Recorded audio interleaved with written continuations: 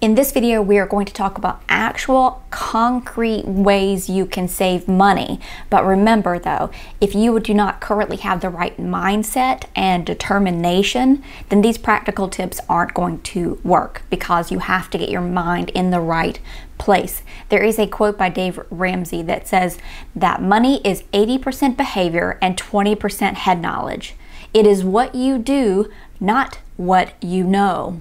So let's get started. Grab a pen and a paper. And what you're going to do is write down the ones that you are interested in that might you might want to implement in your life to squeeze that dollar. Now, not all of these are going to be for you. Take the ones that you like, write them down. Just because you may not like or agree with another one doesn't mean it's not right for someone else. You can just leave those behind. Now we are going to go rapid fire. Let's go. I hope you have your pen and paper ready. Number one is to switch providers. For some reason, people tend to be loyal to corporations and they stick around with the same maybe cell phone or internet provider forever. Yes, this can be somewhat time consuming, researching it, getting on the phone, maybe an hour or two, but isn't that hour or two worth your time if you can save, I don't know, $100 a month? That's $1,200 a year. At this point, you're looking at things like cell phone, internet, insurance that you could switch and possibly get a really good deal. The reliability of these corporations is getting very similar to one another, where in the you know near past they were pretty gaps as far as the least expensive ones more versus the more expensive ones. But right now, with everything in the market, there are more companies out there and they are having to compete with each other, which is good for you. Number two, I want you to download an app on your phone right now. You're going to pause this video. You're going to go to the Google Play Store. You're going to download the Every Dollar app and you're going to start using it. Now, perhaps you're watching this video and it's not the first of the month. You think, oh, well, it's not the first of the month. I've already spent all this money. That's okay. Go ahead and start working on next month's budget. Go ahead and start plugging in exactly your income, the things that you need to put. Check it out, look around the app, start that budget. If you want, continue to screw around with your you know, money during this month until you get to the first. But on that first day of the next month, you are going to be all in. This is what you're going to do is utilize this app. Brandy, a viewer of mine, recently wrote a comment on a video where I talked about the Every Dollar app that actually reinforces how good it is. She states Dave Ramsey's Every Dollar app is fantastic. Now listen to her story. It takes a good six months to get used budgeting. When I started, I was broke. I had to make a sinking fund for paper towels and toilet paper. Now I've been budgeting for about three years and I've paid off all my debt and saved up almost $50,000. That's in three years, everybody. This proves my point. Download this app. I promise you it will work. Number three, set a time limit. Have you ever seen that show back in the day? It was a game show called Supermarket Sweep. I absolutely loved that game show. If you've heard of it, let me know down in the comments below. But why not make this a game? I love a good challenge in my life. It actually is really, really motivational. Set a timer or have a time limit that you are in a store, even a grocery store, and see how quickly you can get finished. The longer you linger, the more likely your fingers are to pick up something that's not on the list. Number four is to keep a clean and organized home. An organized home is an organized mind. An organized mind can easily keep organized finances. A lot of times there is a correlation between an unorganized home and a financial mess. You will see if you were to maybe go into somebody who you know has a financial mess, they may have a really unorganized home. Most of the time, there may be an outlier there. But basically, what you need to do is go ahead and organize your home. Use this as a motivation, get things in order, maintain them that way, and watch how that motivation of organization just in your home starts organizing all aspects of your life, including your financial situation. Number five is one I love. Have a food clean out Friday night dinner. This is perfect because at the end of the week, you're tired, you're tired of cooking, and you just don't want to do it. You know that you're grocery shopping on Saturday, so you need to clean out the, the fridge. Take out everything, put it all on the counter, and tell everybody to have fun. Who says that pizza, pickles, and meatloaf don't go together? Number six, buy workout gear and clothing at places like Ross, TJ Maxx, and Marshalls. This is where you're going to find the best deals on these. Even secondhand, I haven't really seen a lot of workout gear, but at these places you can get name brand stuff that lasts a long time. I have some zip up athletic jackets that I've had for seven years that still look brand new. Number seven is one small change that could save you a lot of money, and that is always taking your lunch and your snacks. If you eat out often, you may see that fast food or even places like Panera with drive throughs are extremely expensive nowadays. Not that they weren't before, but they've gone up just like everybody else. You can spend 10 to $20 just getting a meal for one person at Panera. Think about these numbers when you add them up over time. Let's say you ate out for a $15 meal three times a week for one year. That is $2,340 or $195 a month. That's a lot of money. Let's lower it a bit. Let's say you ate out three times a week for $10 a month or $10 a meal three times a week for one year, that is actually $1,560 or $130 a month. That's a pretty big chunk of money. Number eight, if you automate your payments, you could save a lot of money. I'll tell you about one. My cell phone company offers a $10 discount if you set your payment up on autopay. The one thing that you need to remember here, though, is to make sure there is a cushion in your bank account so you do not go an overdraft. The other thing that it does is you can't forget a payment and be late on it and end up having to spend an hour, or hour and a half on the phone asking if that fee can be waived. Number nine, buy real cheap food. And by that I mean real food that is cheap. There are so many foods that get left behind as far as talking about that are super inexpensive. You don't have to go and buy all these, you know, boxed foods with preservatives or expensive foods that cost a lot of money. You could save a lot. Things like apples, carrots, lettuce, beans, oats, rice, potatoes, eggs. You can take these items and combine them with some herbs and some seasonings and make delicious meals out of them and they don't have to cost a lot. We don't have to have elaborate meals and dinners. We could have really good whole foods that are inexpensive. Number 10 is to drive carefully. This not only saves you on gas, but it can save you from getting expensive speeding tickets. Perhaps it can save you from getting in an accident where it might be your fault. And this will save you in the long run too, because even if it's something like a fender bender and there's not a lot of damage, when that is put on that VIN number's car history, if you when you go to try to sell that car, it's going to have a loss in value because it has been in an accident, even if there was little to no damage. Number 11, if you don't ask, you can't save. Ask if there are any discounts. Many companies have discounts for students, first responders, seniors, military, nurses, etc. It isn't embarrassing to ask. The embarrassing part is not asking and losing out on a lot of savings. Number 12, I was recently having a conversation about saving money and there was a talk about Aldi and something came about up about this person said, I don't eat store brand foods.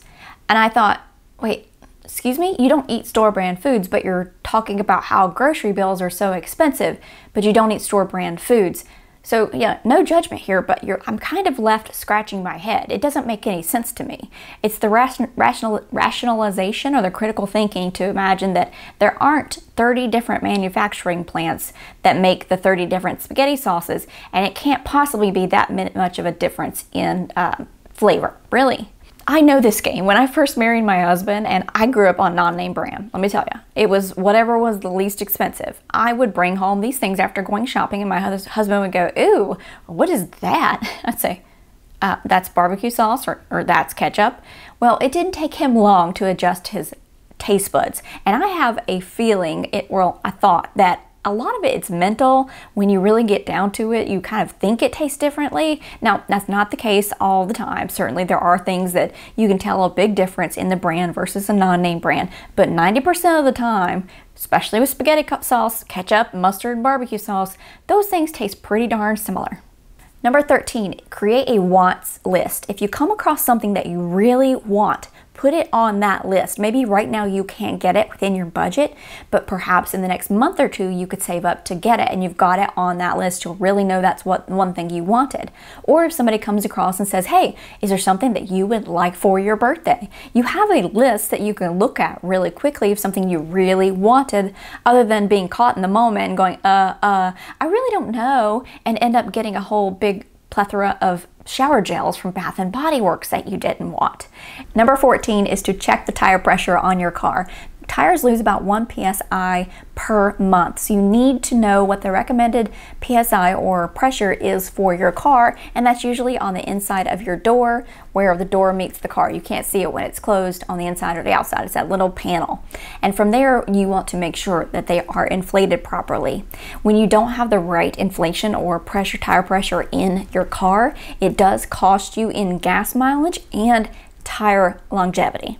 Number 15 is to rotate your streaming subscriptions. I'm seeing more and more people talk about this lately. Whereas some people might have, let's say, Netflix and Amazon Prime TV and HBO and Starz and this one and this one and this one, you can't watch them all at one time. Some smart people have figured out to game the system and they'll have Netflix for about a month or two until they get through those shows that they want. They'll cancel it, they'll move on to their HBO, they'll go through the entire series of their shows. That's one of the benefit of having the entire series on. And then they'll move on to the next one and they rotate it from there. By the time they get back around, the next season is out on the platform that they're watching. And you save a ton of money doing this. Number 16 is to shop clearance online for the next season. There is one thing that I cannot stand, and it's going into a store with a whole bunch of different clothing and sitting there sorting through. That is not worth my time. This is my favorite go-to hack, especially for my daughter's clothing because she's always growing out of something and the next season is coming. Go to the store that you like. Go to the clearance part of the website is what I'm talking about go to filter. From here, you can filter down to find exactly what you want to look at. If you're going there and you need to look at short sleeve t-shirts, you can go in and filter by t-shirt, by short sleeve, by size, and get the exact ones that you can see. There may be 20 or 30 versus 5500. Use that filter button for your benefit to get this next size up when it's super, super on sale, especially if it's off season.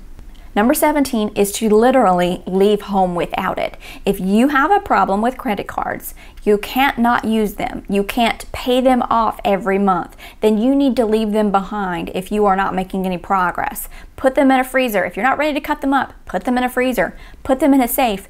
Put them on that top shelf in the kitchen, the cabinet, you know, in the way back that I don't know why it's even there because I can't get to it on a regular basis without a four foot stool. Put it back there take with you just your cash and your debit card.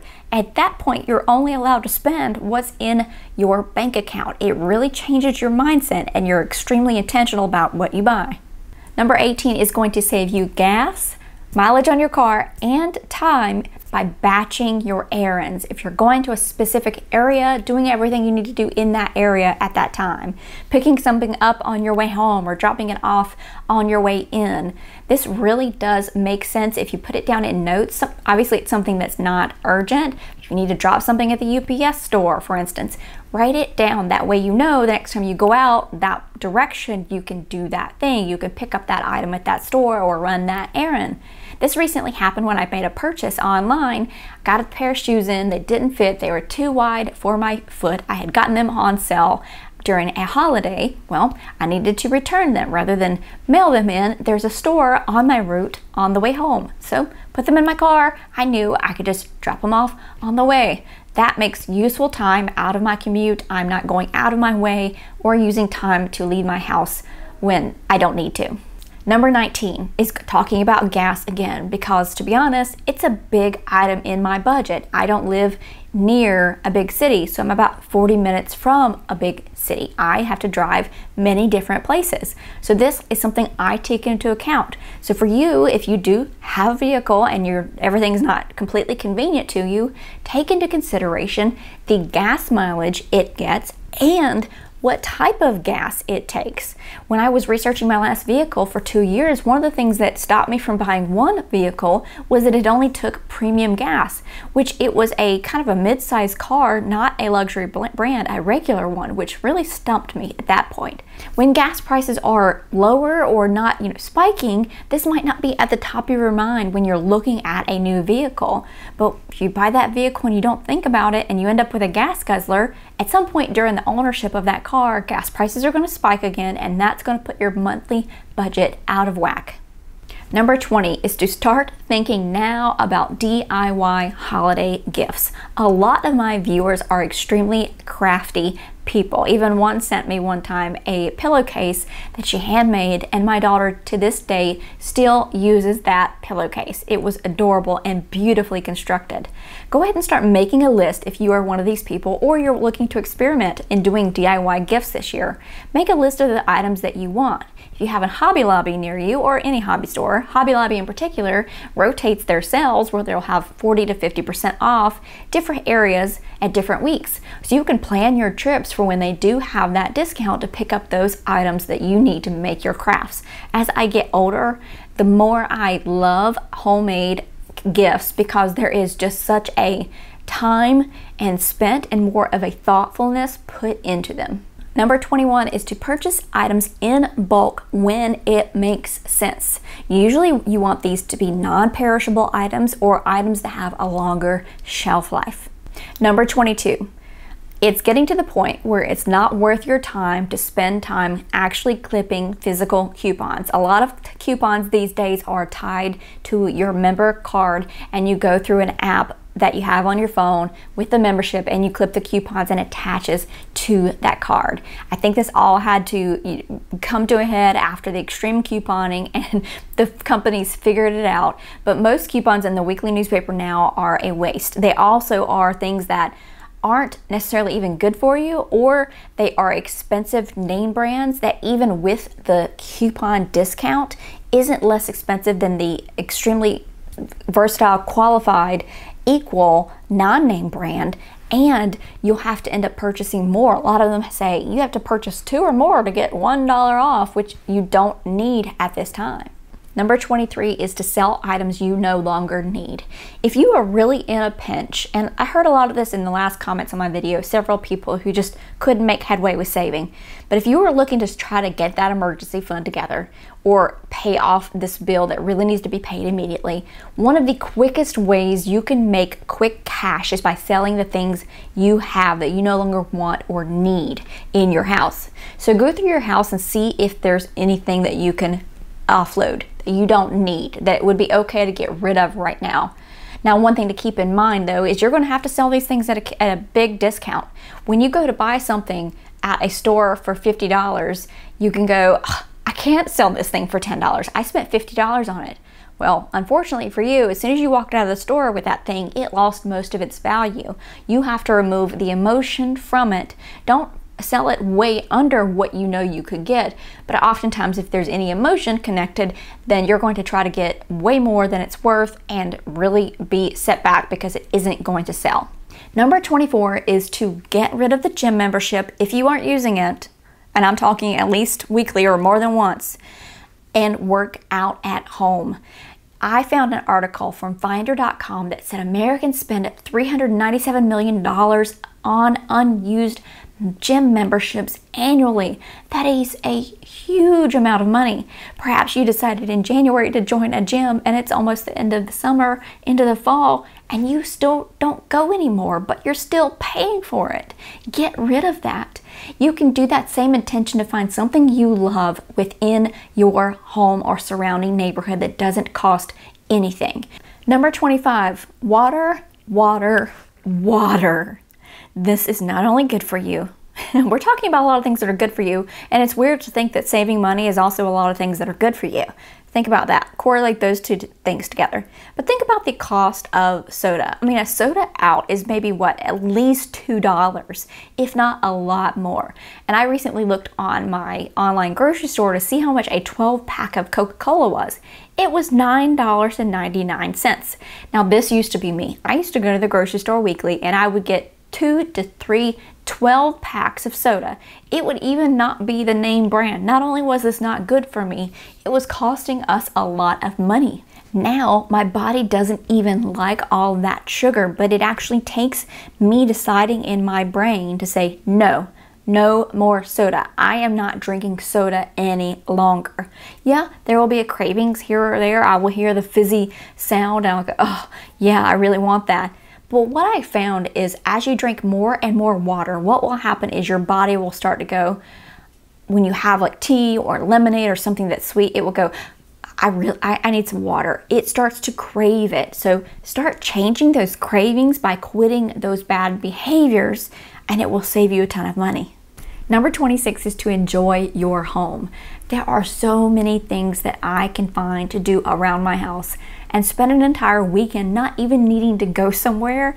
This is why I kind of shake my head when I meet people who are never home. They're literally always gone from the time they wake up to the time they go to bed. They are never there. And obviously, doing that leads to spending a lot of money. If you want to do a no spend weekend, then you probably need to try to stay home as much as possible. They end up buying these big houses to impress other people, but they're never there. The only thing that actually lives there is all the stuff that they end up buying for it. Number 27 is to watch movies at home. Actively have really cool movie nights. You turn the lights down, the lights off, you shut the shutters, you have pillows all over the floor and blankets, you get some yummy food and snacks, maybe get a pizza to bake, grab some snacks from the dollar store, and rent a movie. Recently, there was a movie that came out that my daughter and I were very excited to see. We even thought about just biting the bullet and doing a beginning of summer fun thing and going to watching it in the watch it in the movie theater. Well, we never got around to it, which I'm I'm thankful for because we recently saw it on one of our streaming platforms and we're able to get it for a cost of less than one ticket. So we now have already watched it two times and really gotten our money worth out of it and had a better time. Number 28 is a hard one. I get it. I understand why. Don't buy those pre-made muffins or cookies or baked goods when you walk in a store. They have them close to the front for a reason. That smell just comes up and gets you. You don't even have to make these things fresh. You can go buy those little packets of them at a few pantry staples like eggs and you save a ton of money. I went on my grocery store's website just to get an idea for you and it said that a four count of muffins in the bakery was $5.99 blueberry muffins. I found a blueberry muffin mix also on the same site, not even on sale for $1.25. I bet you I can get about six to eight jumbo muffins out of that muffin mix. Number 29 is a challenge. Write down every single purchase you make for 30 days. Make this a challenge. You don't even have to do the budget if you don't want to. You're not ready yet. You're not ready to, to pull the trigger and pull do that every dollar app, which is free. Just write everything down at the end of the month, after you've written everything down, you've done the challenge, you wrote it all down, you don't even have to analyze it anytime soon, no judgments here, just write it down. Spend about 30 minutes actually now analyzing it, looking at it, highlighting those expenses that weren't necessary or worthwhile to you. This is a very impactful exercise to do. The ones you can sit back and say, yeah, I didn't need to do that. Now add them up. Yep, go ahead. Here you go. Pick your jaw up off the floor. That's what's going to happen. But the thing here is once you acknowledge that's something, it makes it easier to change. You have to acknowledge what's happening. And even just the practice of knowing that you have to write these expenses down makes you more intentional with your purchases. Number 30 is to eat out of your pantry for one month. I remember hearing about this challenge from Jordan Page with Fun, Cheap, or Free. She has a blog and a YouTube channel, I think, still and she called it Shelftember. She did it during September. And so she has a humongous family, and this is where basically they plan all of their meals about what they currently have in their pantry, what they have in their deep freezer, and they legitimately use basically all of it. Now, they do have a small amount of money that they take to the grocery store weekly to use to get things like fresh eggs or milk or fruits, but it's very, very minimal. And during that month, you can imagine they save a ton of money utilizing what only what they have on hand. I think this is a great challenge because it resets your habits. It helps you to clean out stuff that may expire over a certain amount of time. Every single year you do this and you develop a great habit of being more intentional about seeing what you have first before you develop your meal plan and go out grocery shopping. Alternatively, number 31 is to stock up on grocery items when they are on sale, maybe for a particular month. Speaking again of Jordan Page from Fun Cheap or Free, she called October Stocktober. Creative, right? Basically, she spent the entire month having a gap in her budget between what she spent and what she budgeted and used that gap to help expand her pantry and build it back up. She built extra or made extras of many meals so that she could freeze them in the deep freezer. I love using this tip all the time. I love having a budget buffer for grocery shopping weekly, having something between five or ten dollars between what you're expended expected to spend and what you can spend to see if maybe there's an item that's on deep discount that you could stock up on. And if you get two, three, or four of them, use them a lot, it's not going to bust the budget because you've got that bus budget buster in there, budget budget buffer in there. Number 32 is to use less. Use less everywhere. Less shampoo, less laundry detergent, less cleaning spray, less water, less salad dressing. Hear me out. Usually the recommended amount that we use for shampoo usually the recommended amount is less than we actually use. People just squirt a big old glob, and it's really only a little bit you need. Now, alternatively, you can try to use less detergent than what is recommended. See if it still gets your clothes as clean. Do you need to use that much? Not only does using too much laundry detergent cost you money, but it also can help break helps break down your clothes faster, which we don't want. Most people also don't read the back of cleaning sprays. They don't see that it says to let it sit for a few minutes. They spray it and they wipe it off immediately, which is completely useless. You have to let it sit and do its job. I like to also take salad dressing, add a little bit of water to it. So I'll portion it out, put a little bit in a little cup, add a little bit of water, stir it around, and what it does is makes it go further too, but when I put it on my salad, it helps it more evenly cover all of the salad as well. I use less. Number 33, when grocery shopping, always compare unit prices. I rarely even look at the actual prices of anything any longer. I have trained my eye to go to that unit price. Stores will try to grab your attention as well with sale prices. And then if you look closely enough though, you'll see that the item that is a different ounce that's not on sale has a lower unit price than the item that is on sale at its sale unit price price. So if you use that much ounce, like it's a bigger ounce and you save more and you know you'll use it, grab that. But focusing in on those unit prices, make your eye see that is going to save you a lot of money. Number 34, if you are out of stain remover, just use a little bit of laundry detergent. Laundry detergent and stain removers are usually made of similar ingredients. All you need to do is take a little bit of your laundry detergent, put it on the stain, let it sit for about five minutes, and then put it in your wash. Number 35, try using less expensive sources of protein in place of meats at meals. Things like beans, lentils, and eggs are extremely versatile and they are way less expensive. You can try just substituting one meal a week where you take out meat and add one of these less expensive protein sources. There are so many good recipes on Pinterest that I have found. I use chickpeas to make crab cakes. I use uh, chickpeas to make chicken salad. It tastes so good because of all those other ingredients and chickpeas really don't have a taste to me, chicken doesn't really have a taste too much either. It's very similar. And then also you can go on there and see, look up Sloppy Joe's, make lentils, mix them with Sloppy Joe sauce. It tastes really, really good. There are so many, my husband has really been blown away with what I found to place in place of meat and save a lot of money with these less expensive protein sources. Number 36 is to free up a payment you need to first know what your payments are. You need to write them all down. You need to have exactly how much they are. Let's say you have a car payment and it's $500 a month. Wouldn't it be nice to dream and imagine that that $500 could stay in your bank account and that you wouldn't have to send it off every month on a car that's four or five years old that you've had for four or five years? Perhaps you have some extra margin in your paycheck, meaning you have a little bit of space from your expenses to your income, and usually you just blow it on dinners out or some clothes or whatever. And you think, you know what? I could take that money and add it to the principal of my car and get it paid off quickly. Simply imagining not giving that money away imagining it like you would imagine what you might do with the lottery if you won it. What would I do if I had $500 left over in my account and didn't have to go here? That might be enough motivation for you to kick that debt out and to make the sacrifice to get it paid off. Contrary to what you might have heard, contrary to what culture wants to say to us, we do not have to have a monthly car payment. It is not a requirement. Number 37, do not shop when you are hungry, sad, or sick.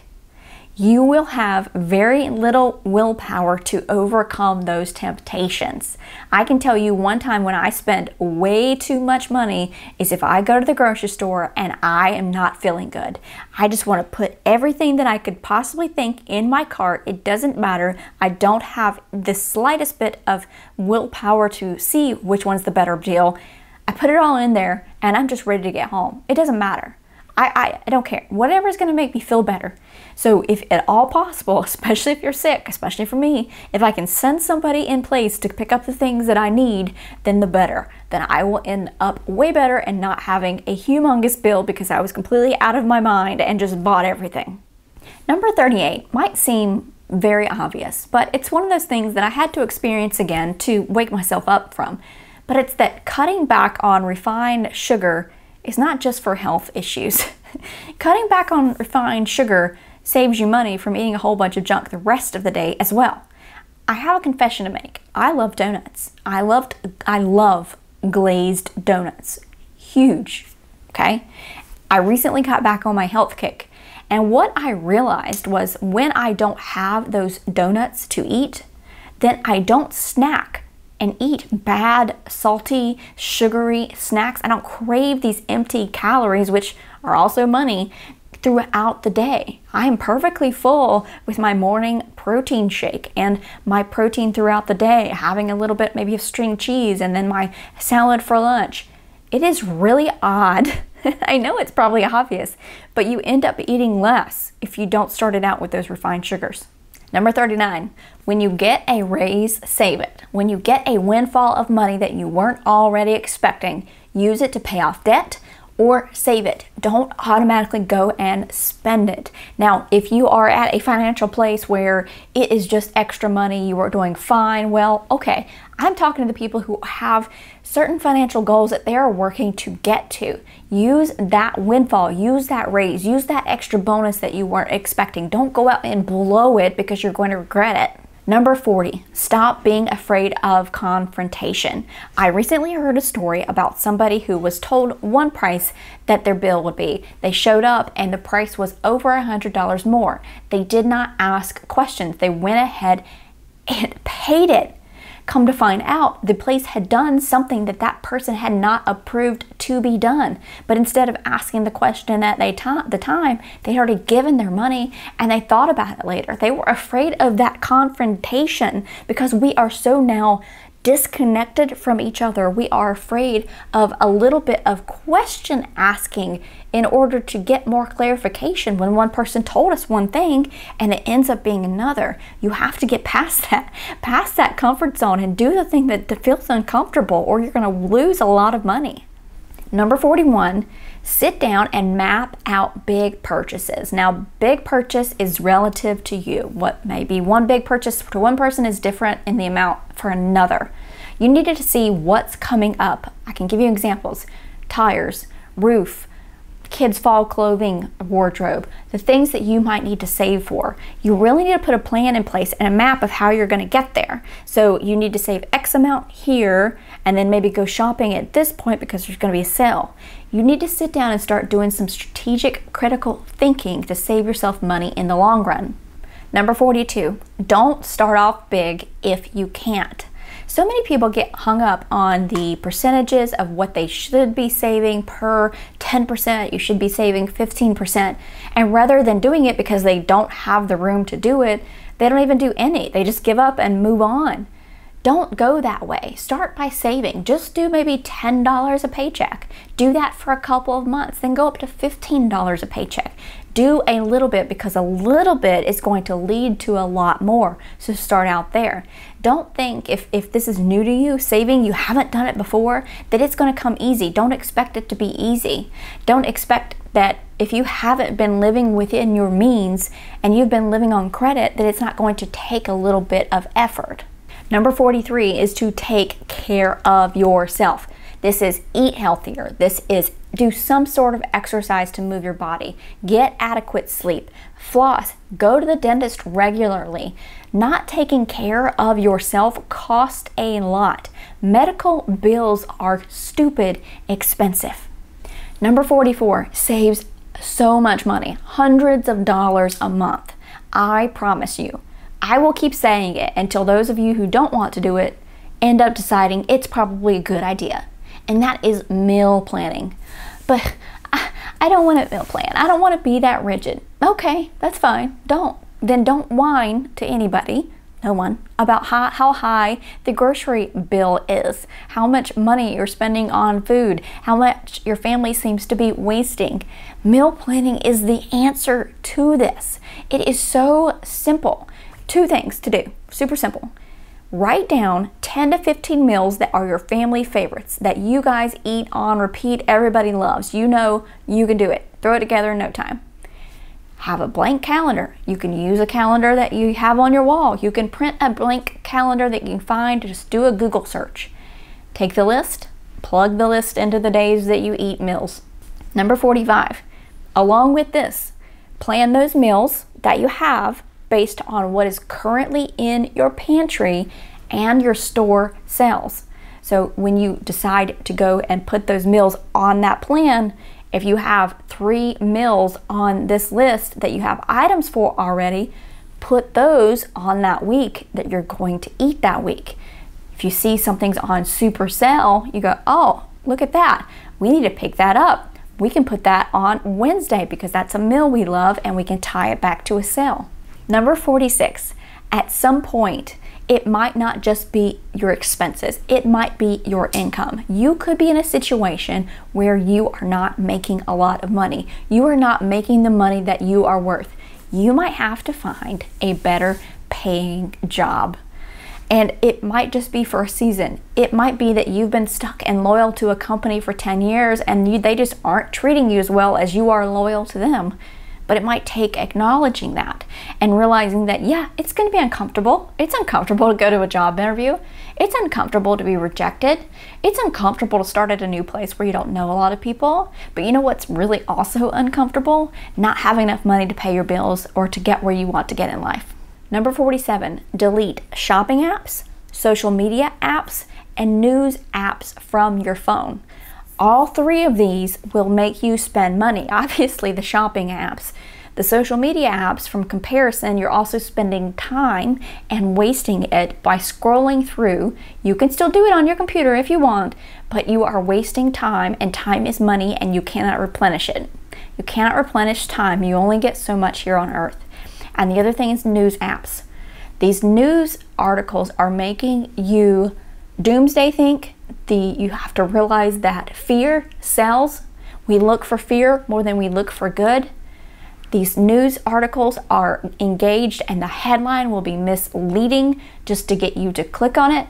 And then you've also spent time and now you start feeling sad about the situation, about your generation, about everything. You feel like, you know, the, the money system is going to come down, everything's going to explode. Take a step back and breathe. Having this right here and this thing that you are addicted to because the phone is that for you is hard and you have to reduce that friction. And part of doing that is to delete those apps off of your phone. Number 48, you could save a huge chunk of money if you have one of these things. Do you currently have a storage unit? Yes? No? If you do, and perhaps you're using it because you're in temporary housing, you're living abroad, it's grandma's things, and we're not really sure where grandma, if she's gonna come back home yet, or if she's gonna stay at the assisted living place. I get that. But if you are keeping this thing full of stuff, what are you thinking? Because are you really going to put that stuff anywhere or is it just sitting there? Is the stuff that's in there even worth the amount of money you're spending to rent that thing yearly? I, am astonished at the amount of storage unit places and the amount of money these places make. And I bet you that the majority of them are full of things that people just are afraid to get rid of, or they think they can sell for more, but they can't end up doing it, and they're paying to store it. Number 49, quit one bad habit at a time. This can make a big difference in your spending. Pick one and quit that one. Eventually, you can do another one, but focus on one at a time. Now, this could be your daily coffee run. This could be buying lottery tickets every week or stopping and getting a Slurpee every time you go and get gas. Pick that one thing that you always spend money on. You know it's not good for you, but you just haven't been able to kick that habit. Pick one of those and just quit it. Try it for a week, try it for two weeks, try it for a month, and see what happens.